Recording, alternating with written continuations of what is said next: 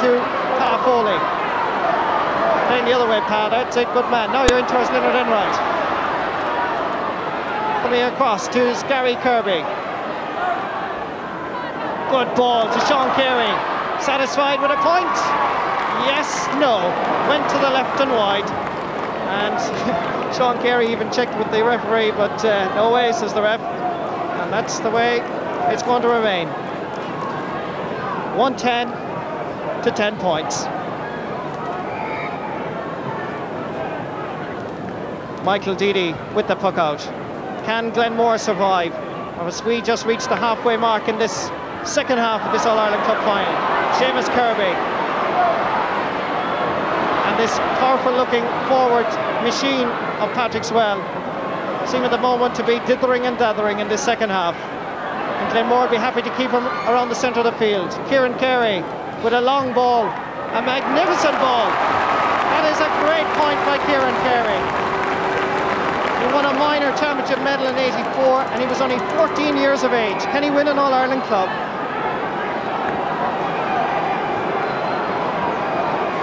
Again, two points between the sides. And referee is halting proceedings while substitute Michael Phelan is coming on. Another Michael Phelan.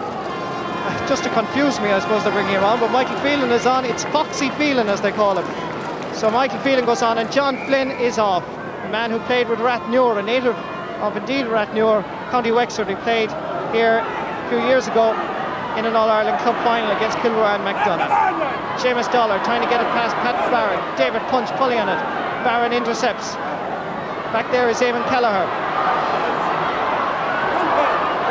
Paul Foley. Paul Foley's brother Pat, of course, is missing this match today. He's out in Germany, and his brother at the moment is very much in trouble. This is Seamus Dollard. Dollard over the bar.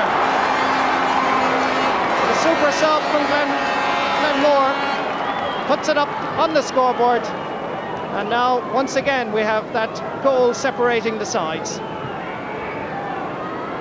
Well, the first half started brilliantly, but certainly proceedings in terms of skill, not exactly the best hurling in the world. For passion and heart, these two clubs are certainly playing it out. Anthony Carmody, so dominant in the opening 15-20 minutes. Dennis Mullally gone back to left half back instead of Des Ennett. A long ball up towards Christy. Ball breaks inside for Joe Murphy. And back out the field it comes.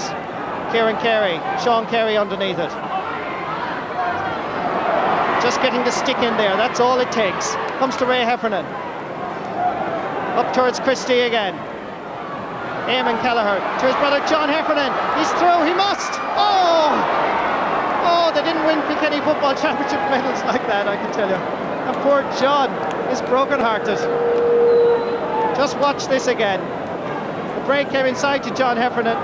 He got inside the challenge of Eamon Kelleher, and there was an opportunity totally wasted. Phil Bennis coming on, making a switch on the team. A man who in 1954 won an under 14 championship medal, 65 led Patrickswell to their first championship, and now manager of the side here today. And Patrickswell introducing Dominic Punch, who is the captain's brother instead of uh, Eamon Kelleher. Is dominated, whether it is the Heffernans of Glenmore or the Punches, Harveys, Bennis's of Patrickswell. Ray Heffernan. John Heffernan again. Despite Dominic Punch, has just broken his hurley. Back outside there is Pat Carey trying to help out a besieged defence. And he finds touch right here in front of us. Liam Walsh going to take this line ball as Pat Carey looks on.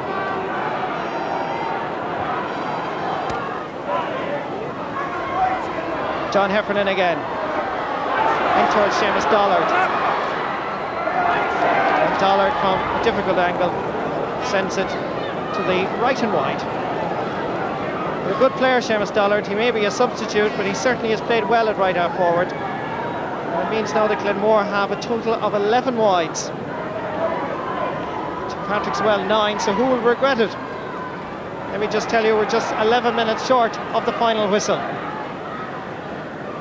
And referee indicating that there was foul there and gives the throw ball. Michael Phelan without a hurley breaks to Kieran Carey. It really is a goal that Patrick's well are looking for. Gary Kirby. Leonard Enright has gone inside. Superb catch by Enright. Can he get a hurley to it? Comes to Sean Foley. Foley trying to get it in, but the Glenmore defence. One, two, three, five of them there. Great play by Glenmore. You have to hand it to them. They're minding their goalposts as if their lives depended on it. And the Kilkenny crowd standing to their feet here now inspired by this hard-hitting, passionate hurling that Glenmore are providing. Philip Foley trying to get it out. David Punch in there as well. Foley gets the hurley to it and finds touch at the far side. And every time Patrickswell come forward, Kilkenny heart and determination equally matches it. Quickly taken line ball, comes to Pat Barron, and that's over the bar. good intelligent play by Ray Heffernan and Patrickswell at the moment are a little bit rattled. The supporters a little bit subdued at the moment. Nine minutes left in the match. Kieran Carey, can he do something to pull this one out of the fire? I'm sure that Patrickswell, that spell in that first half where they passed the ball from one end of the field to the other, but failed to raise a flag, could well be a crucial period in this All-Ireland final. One that indeed the Patrickswell may well regret as Pat Foley sends it high and it's a good one. It brings Glenmore back to just three points. He scored a point against St Gabriel's in the All-Ireland Club semi-final. He's done it again today.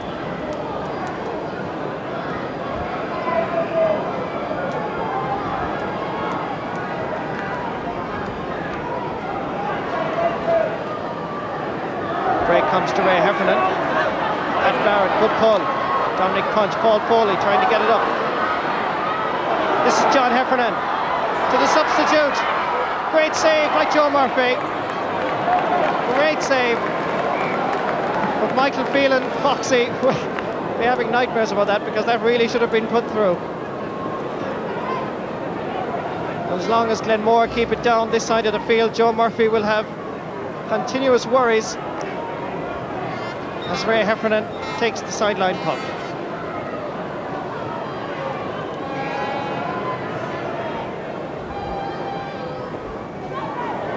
Beautiful ball. And that's gone out for a 65. That was a marvellous cut by Ray Heffernan. As we have seven minutes left in this match. As fullback Paul Foley down injured. And that came about as a result of a sideline puck taken by Ray Heffernan. It was a good ball which appeared to come back off the post. And in doing so, Paul Foley seemed to hit the deck as well.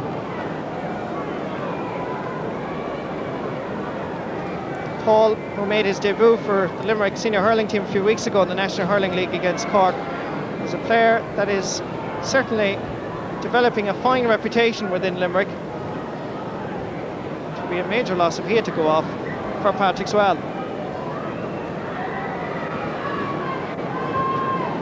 PJ O'Grady, the PRO there, with Patrickswell substitutes. They look a little bit dejected at the moment.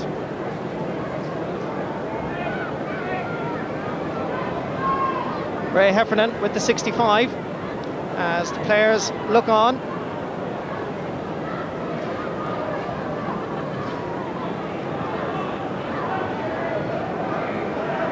Now, referee telling Ray to hit the sliotar. That's exactly what he's done. He puts it over the bar. Ray Heffernan has now got five points in this All-Ireland Club final out of a scoreline of 113 to Patrickswell 12 points.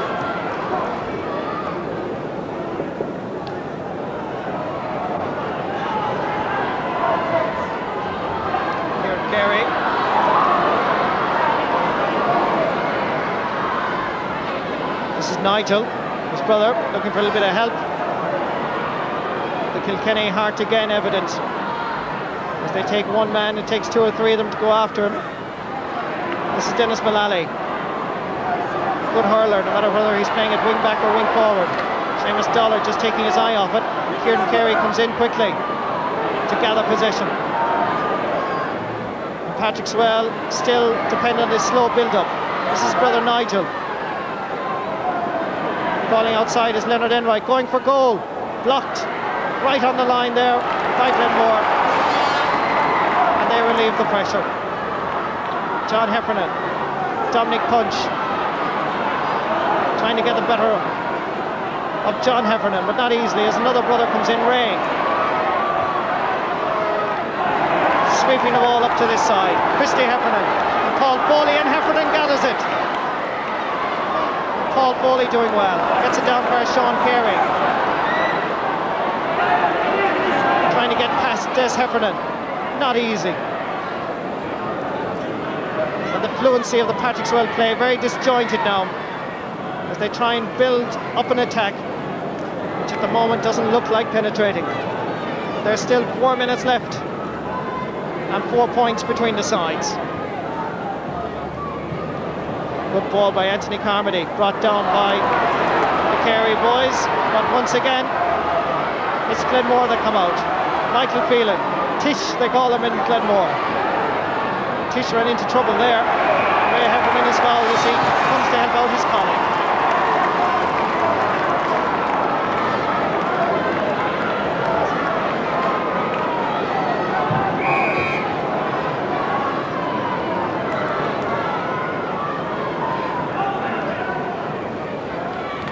Heffernans playing a prominent role in this Glenmore side. Christy is underneath it.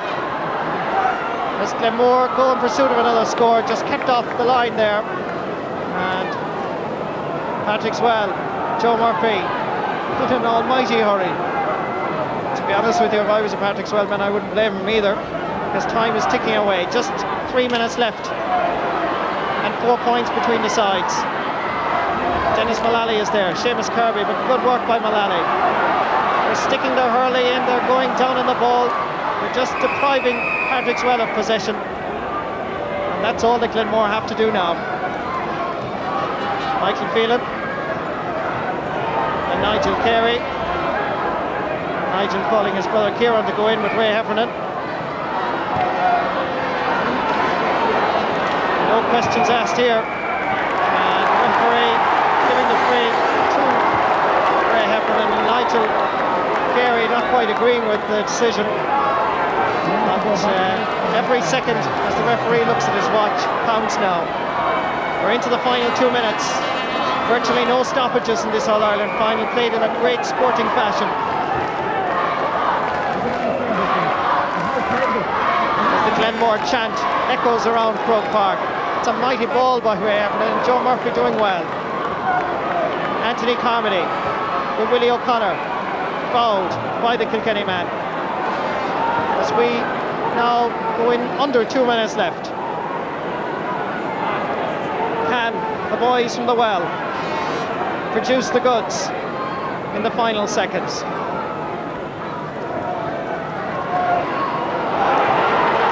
Great play indeed.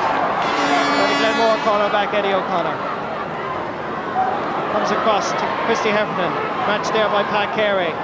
Ah, beautiful stuff by the Patrickswell centre half back. Down towards Leonard Enright.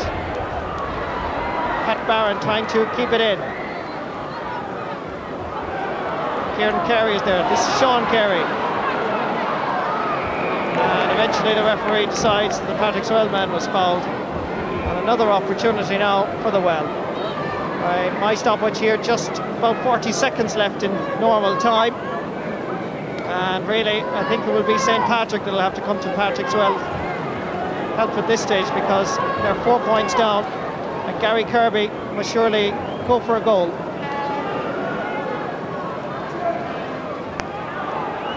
And he drives it wide. And I think at this stage the Glenmore celebrations will begin in Croke Park. George Lalahi